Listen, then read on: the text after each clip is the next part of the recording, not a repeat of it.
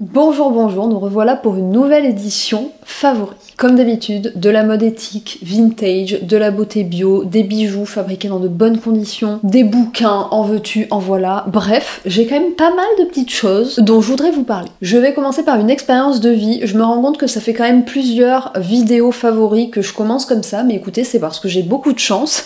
je voulais commencer par notre fabuleux road trip en Andalousie avec notre van Willy. Ça aura duré trois semaines, on était euh, nos minous et ça a été absolument fabuleux. C'est une région qui m'inspire inspiré déjà beaucoup de loin, comme ça, juste euh, l'imaginaire que j'en avais. Mais en réalité, je suis sortie tellement plus riche euh, de, ce voyage, c'est, enfin l'Andalousie, c'est vraiment incroyable. C'est beau à tout point de vue, bien sûr au niveau euh, des paysages, des villes, de, enfin, c'est esthétiquement beau, c'est très coloré, mais c'est aussi très beau d'un point de vue culturel. C'est c'est tellement riche. C'est une zone du monde qui a été un petit peu tampon entre plein de cultures et donc forcément bah, rejaillit de ça euh, quelque chose de bah voilà de beau. Non vraiment ça a été assez fabuleux. Si vous envisagez de découvrir l'Andalousie, déjà sur Instagram je vous ai fait par région des posts un petit peu récapitulatifs avec euh, bah, ce que je vous conseille de faire, les adresses qu'on a découvertes et puis aussi les, les choses qui selon moi, euh, il faut pas passer à côté parce que c'est de belles expériences. Donc j'ai essayé de, voilà, de vous faire des posts par région, mais j'envisage aussi de vous faire un article sur le, blog. Donc voilà, si jamais ça peut vous servir, sachez que ça arrive. Après notre voyage en Andalousie, on a en plus enchaîné avec une semaine de formation à la navigation à la voile. C'est notre troisième semaine, on commence à devenir des experts. On est allé en Bretagne, toujours avec l'école des Glénans. On en est vraiment très content, donc euh, bah, on va pas changer. Hein. On apprend toujours plein de choses, c'est toujours des aventures de vie aussi, parce que bah, quand vous partez comme ça une semaine sur euh, un bateau, vous partez avec un équipage, avec des gens qui ont leurs propres histoires, leurs propres aspirations, euh, leurs propres compétences aussi. Et voilà, il faut que tout ce petit monde, bah, ça fonctionne pour faire un équipage qui arrive à apprendre ensemble, mais qui arrive aussi à vivre ensemble. Enfin bref, c'est toujours hyper intéressant et puis c'est toujours génial, voilà. De se retrouver sur l'eau, de, de comprendre comment on arrive à se déplacer avec un bateau grâce à la force du vent, c'est quand même, je sais pas, il y a quelque chose de vraiment magique. Et nous, on a toujours ce lien avec l'océan qui continue à se créer. Et je trouve ça beau. Et je suis vraiment hyper fière de nous d'avoir creusé cette voie, d'avoir osé aussi hein, ce, bah ouais, rencontrer cette culture de la voile, cette culture de la mer qu'on n'avait pas forcément. Et euh, c'est vrai qu'il y a beaucoup à apprendre, beaucoup à ingurgiter. Et puis euh, c'est une culture qui ne nous appartient pas aussi. Donc il y a toujours quelque chose d'un peu intimidant, forcément, quand on commence à appréhender euh, une nouvelle culture.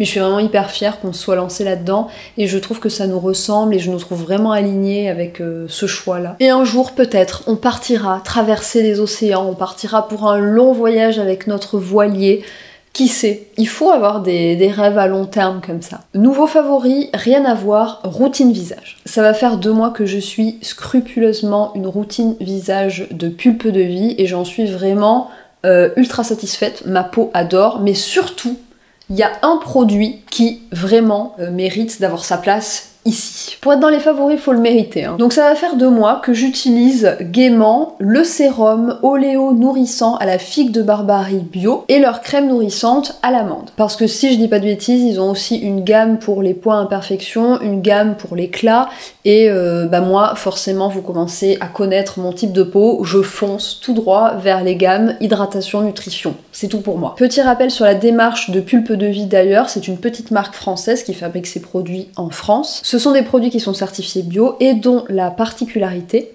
c'est que leurs actifs proviennent de fruits et de légumes qui ont été déclassés du commerce. Pourquoi? Bah, Parce que ils n'avaient pas le bon calibre, ils n'avaient pas la bonne couleur, bref, on n'en voulait pas dans le commerce. Et donc au lieu de les jeter, bah, on en extrait des actifs pour les cosmétiques de pulpe de vie. Est-ce que c'est pas fantastique? Et évidemment, on parle de fruits et de légumes qui ont poussé en France, donc d'agriculteurs français et bio sûr. Donc là par exemple dans le sérum ont été sauvés du gaspillage bah, des figues de barbarie, euh, des pêches blanches, des prunes, bref, vous comprenez le topo. Vous entendez les canards derrière, tout va bien. Première chose, ça fait donc deux mois que j'utilise ces deux produits, le sérum et la crème, en combo, routine du matin et ma peau adore. C'est-à-dire que évidemment sur le long terme, voilà, je sens qu'elle est repulpée, je sens qu'elle est, enfin je sens qu'elle est bien, pas d'imperfection, pas de zone de sécheresse. Alors que je suis passée, bah forcément voilà, je suis passée des 30 degrés d'Andalousie à euh, la pleine mer en Bretagne. Enfin voilà, il y a eu des, quand même des variations extrêmes et des situations extrêmes. Et euh, bah, ma peau se porte vraiment bien. Donc non seulement voilà, je sens que bah, le soin est là, mais en plus de ça, ça a vraiment un effet immédiat. Et je dirais surtout le sérum. Le sérum, je l'adore. Déjà parce qu'il sent bon. Je saurais pas trop dire hein, parce que c'est un petit mélange. Mais ouais, ça sent bon. C'est fruité.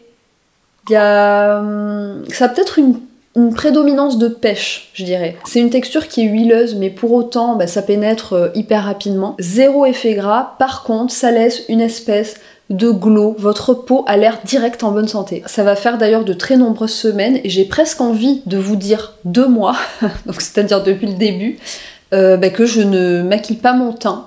Alors évidemment, euh, bah, il y a le bronzage, il y a, y a, des choses qui font que je, voilà, je profite du bronzage que j'ai, mais évidemment aussi du fait que ma peau va bien et qu'elle a un joli glow. Et même si je ne la maquille pas, j'applique mes soins justement pour bah, ce, cette espèce de truc de capter la lumière. La peau elle est vraiment repupée, il y a vraiment quelque chose, je vous assure. Bref, cette routine c'est vraiment un vrai bonheur et je la conseillerais donc aux peaux sèches voire mature, parce qu'il y a un vrai côté nutrition et comment on dit ça, et repul et repulping et repulpage.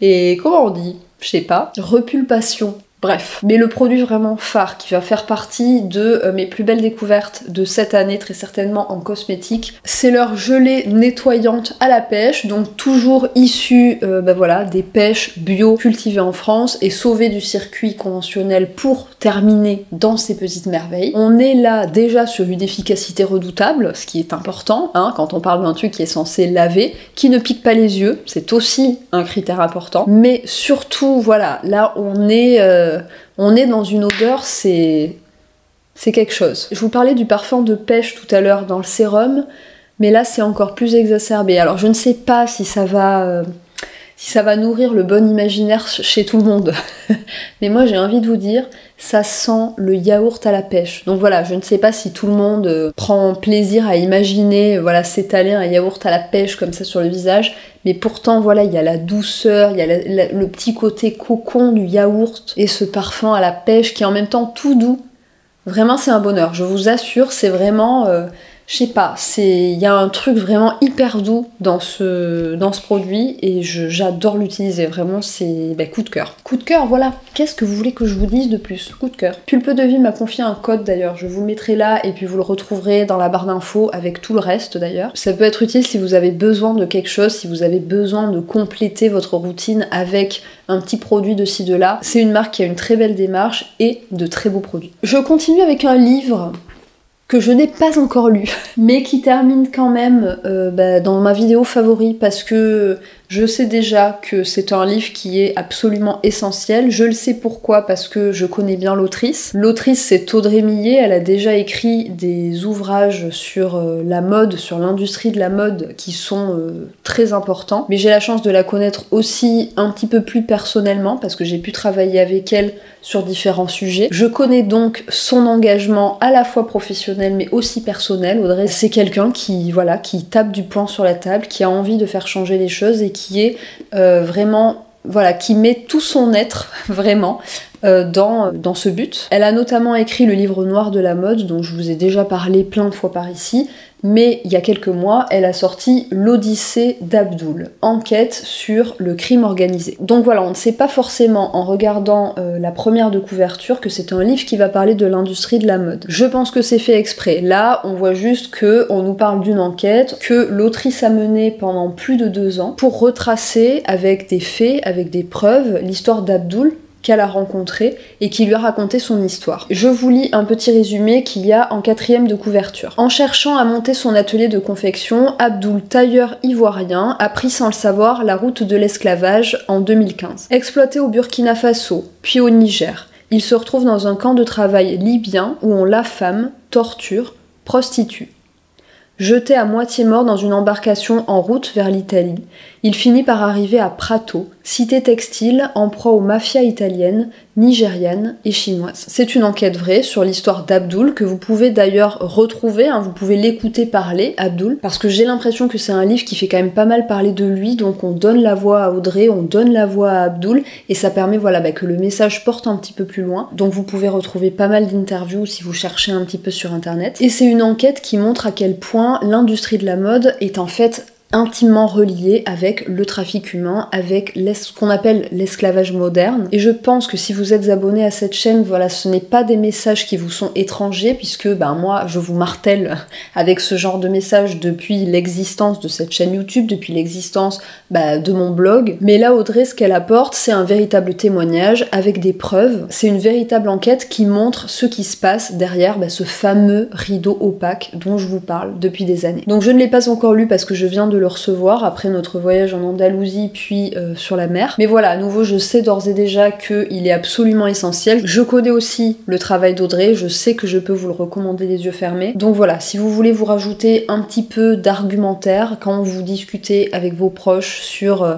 les conséquences de l'industrie de la mode et notamment sur les humains qui travaillent sur les chaînes de production, mais allez-y les yeux fermés, je vous dis. Je continue dans la série livre puisque la maison d'édition La Plage vient de sortir des carnets Urgence écologique. Et il s'agit en fait d'agglomérer par métier des récits engagés pour donner en fait ben, matière à réfléchir, à repenser la façon d'exercer son métier de façon plus éthique et de façon aussi plus consciente des enjeux écologiques actuels. Moi, celui que je tiens entre les mains, il me concerne évidemment particulièrement, puisque c'est le monde de l'influence face à l'urgence écologique. Et à l'intérieur, il y a les récits engagés de 11 influenceurs ou créateurs de contenu qui essayent de proposer un nouveau modèle de faire de l'influence dont le mien. Je suis évidemment très fière d'avoir été contactée pour ce projet, aux côtés par exemple de Thomas Wagner, de Bon Pote, de Camille Etienne, euh, de Camille Chaudron, Girl Go que vous connaissez j'espère, Gaëtan Gabriele, que j'adore suivre sur Instagram, Mamadou Dembélé aussi, The Impact Story. Bref, il y a plein plein de belles personnes qui ont participé à mes côtés à ce petit livre, et qui sont évidemment aussi conscients que moi de la responsabilité qu'ils portent de par leur métier, de par leur voix, de par les messages qu'ils peuvent faire passer. Et vous savez, comme c'est un sujet qui me tient à cœur, notamment avec les vidéos décryptage de marques qui appartiennent à des personnalités publiques et notamment à des influenceurs, ou avec mes vidéos partenariats refusés où j'essaye d'insuffler un petit peu de transparence et un petit peu de réflexion autour des partenariats. Je crois que c'est important aujourd'hui. Bref, très fière d'avoir participé à ce beau projet. Ces carnets, on les retrouve partout en librairie. Et vous avez pour l'instant euh, donc sur l'influence, sur le journalisme, sur la mode aussi, très intéressant évidemment, moi je suis un petit peu à la jonction entre les deux, et puis sur l'alimentation. Et le but c'est évidemment qu'il y en ait tout plein d'autres pour réunir des récits de gens qui proposent une alternative au modèle conventionnel. Bon et allez, puisque j'y suis, j'avais pas prévu de vous en parler, mais puisque j'en suis à vous parler de livres que je n'ai pas lus, parce que c'est vraiment ça, dans la série des livres que je n'ai pas lus mais que je peux vous recommander les yeux fermés, il y a celui-ci que je viens de commander. C'est À la lumière de Céline Gabaret aux éditions Marie Romaine. Il s'agit d'un roman, du premier roman de l'autrice même. Mais cette personne, Céline Gabaret, vous la retrouvez sur Instagram et elle publie régulièrement. Peut-être pas une fois par semaine, certainement un petit peu moins que ça. Mais elle publie régulièrement des petits bonbons comme ça, des petits, des petits textes sur euh, tout et rien, toujours un petit peu absurde, mais toujours avec Beaucoup de poésie, beaucoup de beauté aussi dans la plume, c'est toujours très beau. Moi, vraiment, j'adore. C'est pour ça que j'appelle ça des petits bonbons. C'est une autrice que j'avais découverte parce qu'elle écrivait des articles euh, dans un magazine que j'avais lu un jour et j'avais été tellement portée par, euh, par le texte que j'avais lu que voilà, je l'avais recherché, j'étais tombée sur ce compte Instagram et depuis je ne l'ai plus jamais lâché. C'est aussi parce qu'elle avait contribué une fois au magazine Grain que euh, j'avais découvert ce magazine absolument incroyable dont je vous avais parlé aussi dans une vidéo favori. Bref, je suis une grande fan, je pense qu'on peut le dire. et donc c'est pour ça que même si c'est son premier roman, je vous le recommande les yeux fermés. Je vous en ferai évidemment un retour, mais ce que je veux dire par là, c'est que il y a peu de que je sois déçue. Et en plus, regardez, c'est parfaitement dans le thème. Il y a un petit personnage avec un paletot rouge là qui contemple l'immensité de l'océan. C'est parfaitement dans le thème. Non, vraiment, je, je vous le dis, ça va être génial. Je continue avec une nouvelle passion. oui, il y a à peu près une nouvelle passion par vidéo favori, à peu près une nouvelle passion chaque mois. Écoutez, je crois que ça fait partie de ma personnalité, je suis comme ça. Passion puzzle.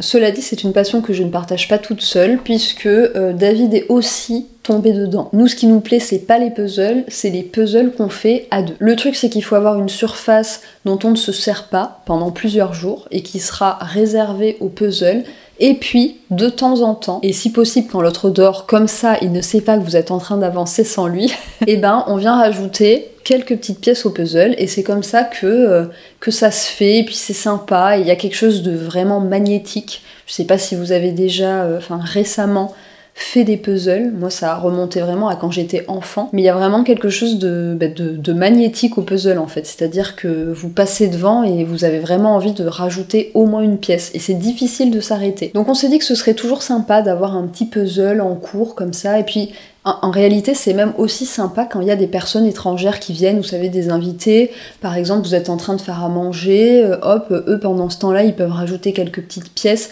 Comme ça, tout le monde peut participer, et notamment là, avec les fêtes de fin d'année qui arrivent, où les gens vont commencer à se rassembler. Je trouve que c'est sympa d'avoir un petit endroit comme ça dans une pièce où on peut aller tous participer un petit peu à rajouter euh, une pièce de ci, de là, ou à trier les pièces par couleur. Enfin, je sais pas, il y a quelque chose de vraiment, euh, de vraiment sympa, je trouve, dans cette idée. Et c'est pas qu'une idée d'ailleurs. Nous, on l'a expérimenté et on a commencé du coup à, bah, à s'équiper puzzle. Le puzzle, nous, une fois qu'on le fait, on le détruit. Je me dis que ça peut être sympa de le ressortir euh, une année après. Je pense pas qu'on s'en lasse, mais si jamais c'est le cas, bah, on peut toujours le revendre et en racheter de seconde main. Il y a quelque chose évidemment dans cette activité de très slow, quelque chose de voilà, on revient vraiment à l'instant présent. Il faut être concentré sur la pièce où elle se trouve, etc. Il y a quelque chose bah, de, vraiment ancré dans le présent qui me plaît, qui est évidemment très loin des écrans. Et puis, quand on commence à s'intéresser à l'univers du puzzle, on se rend compte qu'en réalité, il existe plein de très très beaux puzzles. Et c'est très facile de les trouver fabriqués en France, c'est très facile de les trouver fabriqués dans du carton euh, issu de forêts gérées durablement. Cette marque par exemple, Pieces and Peace, je vois qu'ils reversent une partie de leurs bénéfices à une association de protection de l'environnement. Donc voilà, c'est pas euh, si difficile en fait de trouver de beaux puzzles fabriqués dans de bonnes conditions, tout près de chez nous et par des petites marques, édités par des petites marques. Nous par exemple, quand on a reconnecté avec le puzzle, c'était cet été avec des puzzles de euh, la marque Jour Férié, qui est une petite marque qui fait fabriquer en France également, et avec plein de belles illustrations. Mais regardez, ça par exemple, c'est la ville de Porto. Est-ce que c'est pas est-ce que c'est pas fou de travailler, vous voyez, toujours un petit peu, vous rajoutez une petite pièce comme ça de ci, de là, sur un, sur un aussi beau dessin. Il y a vraiment quelque chose de, mais je sais pas, de super chouette. Et alors, bon conseil, c'est, euh, voilà, si vous le faites à deux, c'est de partir sur des puzzles de minimum 1000 pièces et c'est encore mieux 1500. Nous, on était parti cet été avec un puzzle de 500 pièces. On a voulu la jouer euh, débutant. En fait, c'est vraiment trop rapide. 500 pièces à deux, ça se fait vraiment trop vite. Donc voilà, c'était mon petit conseil potentiellement de d'essayer de vous remettre au puzzle, de le laisser dans la pièce, de le faire avec les autres aussi. Même si je comprends tout à fait que certains préfèrent que ça reste une activité solitaire et vraiment leur petit cocon à mettre les pièces tout seul dans son coin, ne pas vouloir être dérangé dans sa bulle, enfin je comprends parfaitement. Mais moi vraiment j'aime beaucoup cette idée du puzzle collectif où chacun peut rajouter sa petite pièce. Je me dis que ça pourra peut-être vous inspirer. Je continue avec la pièce, ben clairement la plus chère de cette vidéo favori. C'est euh, ce collier que je porte autour du cou avec un diamant. Et là, je suis en train de montrer le fermoir. Forcément, il n'y a rien d'incroyable à ça. Il s'agit de cette chaîne avec au bout petit diamant. C'est un cadeau que je me suis fait mais qui en réalité est un ricochet d'un cadeau que quelqu'un d'autre m'avait fait. Je vais vous raconter cette jolie histoire. Et comme évidemment j'ai préféré l'acheter auprès euh, d'une marque qui fait les choses bien, bah, je me dis que bah, c'est l'occasion aussi euh, bah, de, mettre son travail en avant. Donc pour la petite histoire, ma grand-mère a offert à toutes ses petites filles, et des petites filles il y en avait pas mal, puisqu'il y en avait 6, une chaîne avec un diamant au bout, exactement comme celle-ci, à leurs 18 ans. Donc moi aussi, à mes 18 ans, surtout que j'étais la plus petite des 6, j'ai reçu, euh, et je le savais, voilà, il y avait cette espèce d'étape dans la vie où je savais que quand j'aurais 18 ans, j'aurais moi aussi, comme mes sœurs, comme mes cousines, euh, cette fameuse chaîne autour du cou. C'est évidemment un cadeau précieux qui a une valeur importante, mais c'est aussi, je trouve, euh, un beau cadeau qui permet de faire une espèce de lignée, puisque vous voyez, ben moi j'étais la dernière des filles et, euh, moi aussi j'avais envie de, pouvoir porter chaque jour ce collier à mon cou. Ce collier, je l'ai porté pendant trois ans à mon cou et un jour où j'étudiais à Rouen, je suis partie en cours et le soir je suis revenue et bah, il, est, il était plus à mon cou. Il, il était plus là. Je ne sais pas ce qui s'est passé. J'ai passé vraiment les deux jours qui ont suivi euh, à explorer le moindre trottoir, le moindre trou, le moindre. J'ai refait mes trajets en bus à l'école et puis ça m'a suivi évidemment pendant tout le reste de l'année. Enfin voilà, j'avais les yeux rivés au sol en espérant peut-être un jour euh, retrouver mon collier. Je n'ai pas d'explication, je ne sais pas ce qui s'est passé. En tout cas, il a disparu. J'ai mis beaucoup de temps déjà pour le dire à mes sœurs, mais je n'ai jamais pu le dire à ma grand-mère. J'ai jamais pu dire que euh, ben, j'avais été la seule couillonne à perdre euh, ce cadeau sacré et précieux qui faisait de moi une fille Céris, une fille de la famille Céris. Et ça a toujours été une petite blessure lancinante. D'ailleurs, j'y revenais souvent que j'avais pas été capable, j'avais pas été à la hauteur en fait de, de faire partie de cette lignée. J'ai perdu ma grand-mère en janvier dernier et je ne lui ai jamais dit que, euh, que j'avais perdu son collier. Ça lui arrivé de me poser des questions euh, pendant toutes ces années, parce qu'il s'est vraiment passé... Euh, attendez, il s'est passé combien de temps? Il s'est passé au moins dix ans. voilà. Elle m'avait déjà demandé pourquoi est-ce que je ne le portais pas, et puis j'avais trouvé des excuses de ci, de là, bah, c'est parce que je porte ça, et ça va pas avec ça. Enfin bref, je lui ai toujours menti en réalité et je n'ai jamais pu lui avouer que je l'avais perdu. Donc quand j'ai perdu ma grand-mère en début d'année dernière, ça m'a un petit peu secouée et ça m'a un petit peu réveillée aussi et je me suis dit mais en fait j'ai envie de faire partie de cette lignée-là. Bien sûr que je n'ai pas besoin de ce collier-là pour faire partie des filles Céris, mais voilà, il y a quand même quelque chose d'un petit peu, d'un petit peu sacré à nouveau, hein, d'un petit peu euh, qui scelle en fait euh, bah, cette appartenance. Et j'ai donc pris la décision de me faire ce cadeau à moi-même, de me pardonner, et puis euh, voilà, et de m'accorder le droit de reporter ce bijou comme les autres. Et ce bijou, comme je vous l'ai dit, je l'ai bien choisi puisque il est en or labellisé Fairmind. C'est le label le plus exigeant que l'on puisse trouver pour certifier l'or, pour certifier à la fois le côté environnemental, puisque euh, il y a des dérives absolument colossales à l'extraction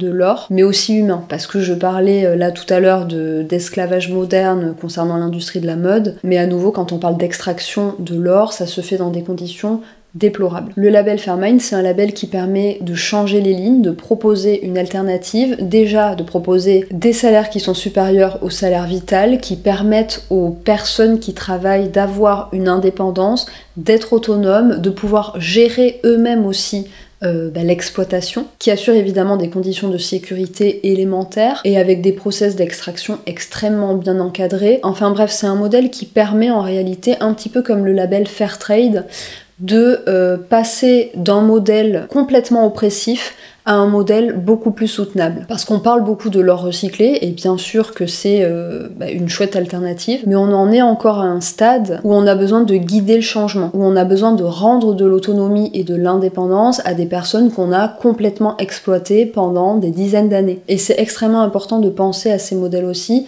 Pour vous faire un petit peu l'analogie avec l'industrie de la mode, c'est par exemple soutenir euh, le commerce équitable au Bangladesh ou en Inde, et pas seulement souhaiter la relocalisation en France. Évidemment que c'est chouette de, relocaliser à côté de chez nous, ça peut apporter plein plein de choses, mais le fait est que pendant des dizaines d'années, il y a eu ce système oppressif sur les populations qui fait que si aujourd'hui on ferme la porte, ben on crée une crise économique sans précédent parce que personne n'a la possibilité de se retourner et de se réorganiser. Il y a besoin en fait d'une espèce de période tampon où on permet que le changement se fasse en douceur. Ça permet aussi de rééquilibrer euh, ce gap des richesses Bref, c'est important de soutenir les deux modèles et le label Fairmind, il est absolument essentiel de ce point de vue-là. Bref, je vous ai fait tout un topo sur le label Fairmind et sans vous citer en plus la jolie marque qui euh, ne propose que de l'or labellisé Fairmind, c'est euh, Paulette à bicyclette. C'est une marque qui a son atelier à Paris. Si vous êtes parisien ou parisienne, vraiment n'hésitez pas à y aller. Il me semble cela dit que c'est ce rendez-vous, donc envoyez-leur un petit message sur Instagram. Alors là, euh, je parle évidemment de haute joaillerie, hein. c'est de l'or massif, c'est des pierres précieuses qui sont toujours sourcés de manière éthique. Là par exemple mon diamant c'est un diamant de synthèse donc il n'a pas été extrait euh, dans les conditions qu'on connaît. Mais David et moi on avait eu l'occasion de pousser la porte de l'atelier et de voir les petits artisans qui se cachaient derrière et vraiment tout se fait dans cet atelier à Paris, c'est assez fou. C'est toujours dingo de toute façon de, bah, voir les artisans faire et surtout de bah, quand il s'agit de, quelque chose d'aussi fin. Donc voilà, si vous cherchez un très beau cadeau à faire ou une alliance ou euh,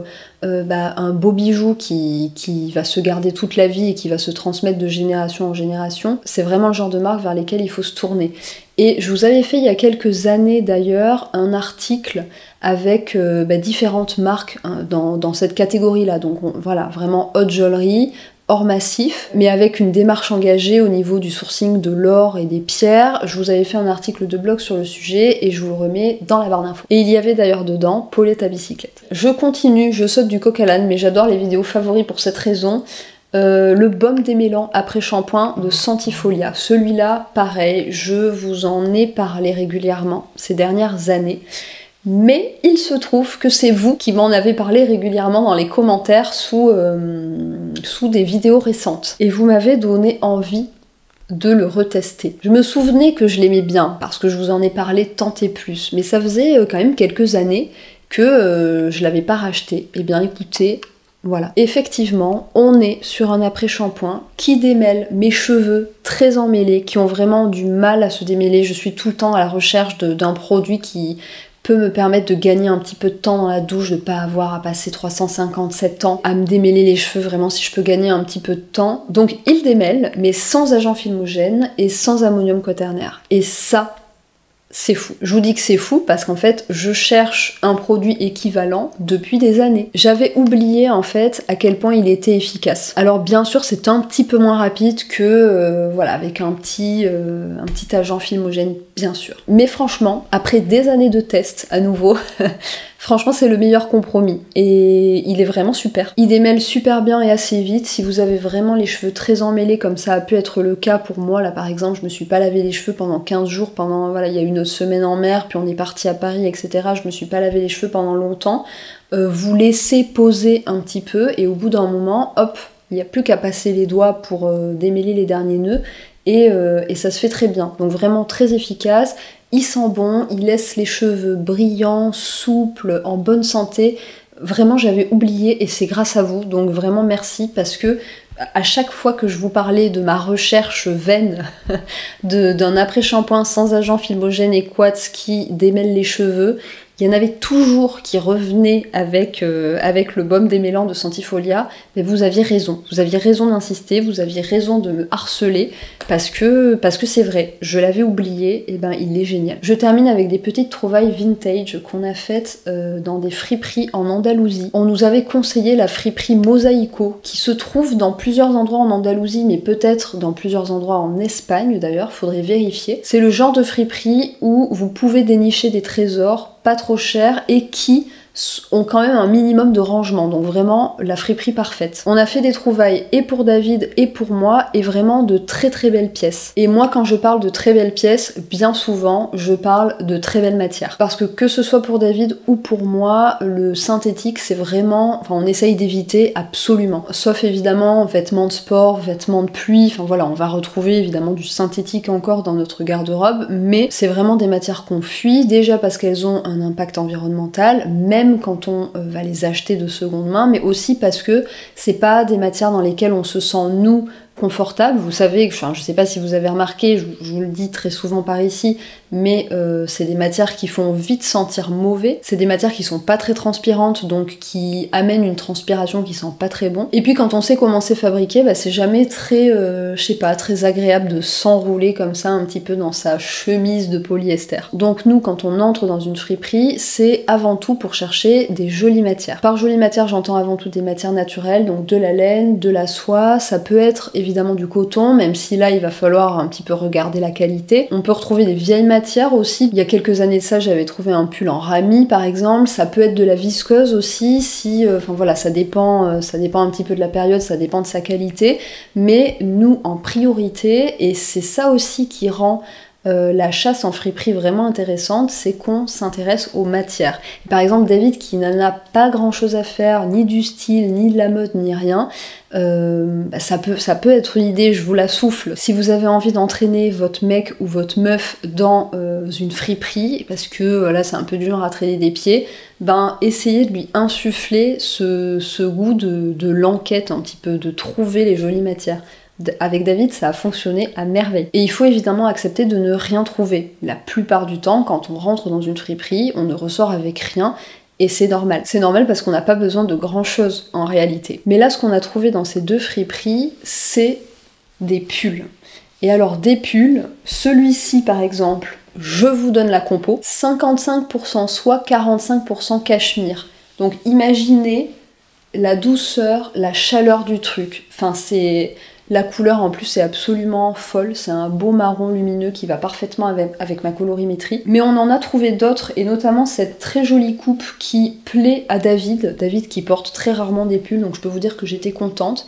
Mais avec pareil une composition parfaite, ce beau gris anthracite, il, lui va, il lui va super bien, il est super beau ce pull. Celui-ci aussi qui est marron foncé avec exactement la même coupe. Euh, on est pareil, 55 soit 45% cachemire.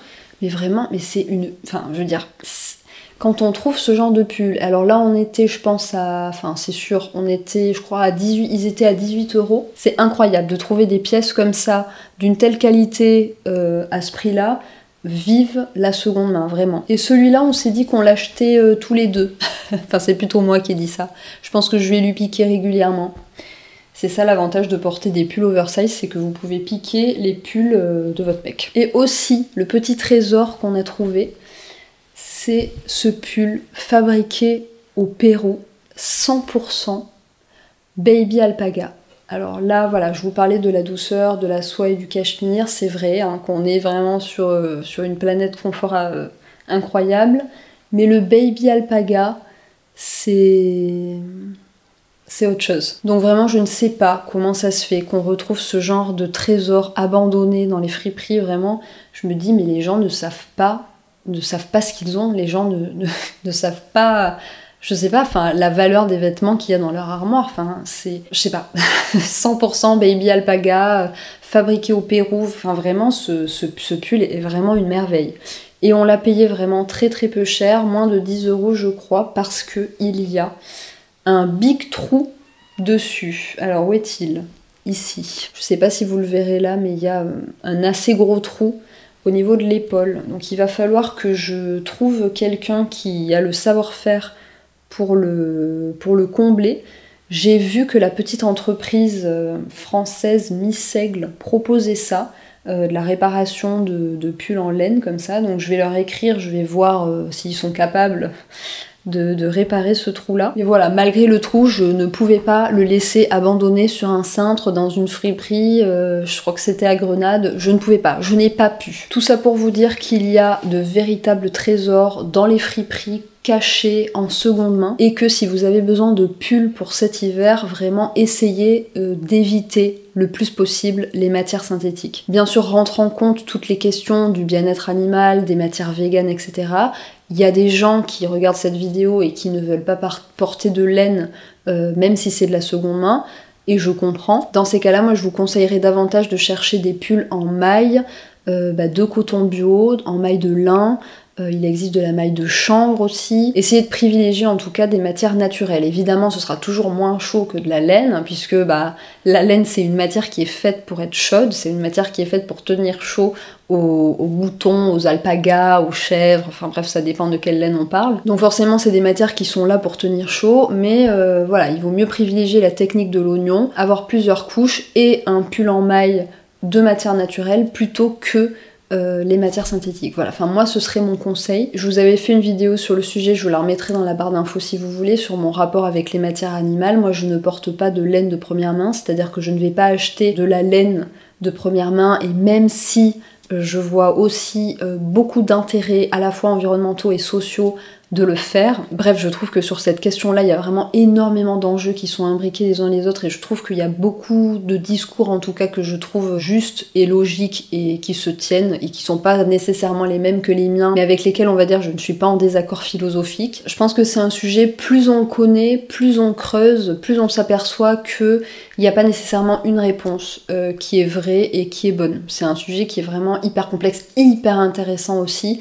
Mais euh, voilà, on peut se positionner chacun en tant qu'individu, mais disons que moi, avec les connaissances que j'ai et la prise de recul que j'ai aussi sur le sujet, euh, il y a plein de discours et de choix individuels qui ne sont pas les miens, mais que je comprends et, valide. Mais ça, je vous en parlais déjà dans ma vidéo sur le sujet, donc je ne vais pas me répéter, je vous mets ça dans la barre d'infos. Donc voilà, si vous ne portez pas du tout, du tout de matière animale, essayez de privilégier les mailles en matière naturelle, et si euh, bah, vous portez de la laine de première main, essayez d'éviter vraiment euh, n'achetez pas, c'est mon cri du cœur, n'achetez pas des pulls de première main mélangés avec du synthétique, vraiment, mais c'est trop dommage. Essayez vraiment de, de limiter ce genre d'achat. Et sinon, si c'est de seconde main, essayez que la part de synthétique ne soit pas supérieure à 30%. Vraiment 30%, c'est le max du max. Autrement, le pull il perd toute sa valeur et puis surtout, il perd euh, son côté euh, chaud quoi. Parce que bon, quand même, c'est censé euh, réchauffer un pull. Voilà, sur ce, je vais vous laisser parce que je vois que la lumière est en train de nous quitter,